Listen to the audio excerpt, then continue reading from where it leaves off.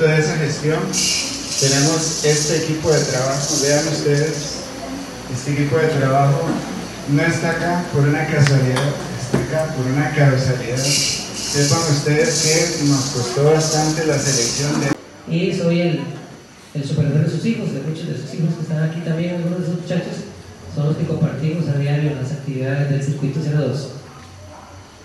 Yo no podría iniciar sin, sin darle gracias a Dios porque es uno de los sueños que he tenido como supervisor, poder proyectarnos a la población que yo más fueron maestro en casa y otros programas que había antes.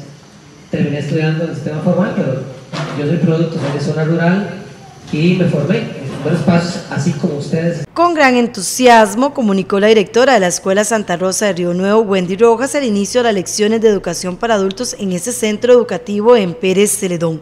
En este 2020 nuevamente se volvió a abrir la educación para adultos en primaria y también comenzaron las lecciones de tercer y cuarto ciclo. En esos casos llegaron alrededor de 100 personas.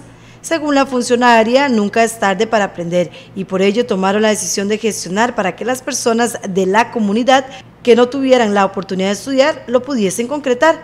De esta manera esperan que esta opción sea aprovechada.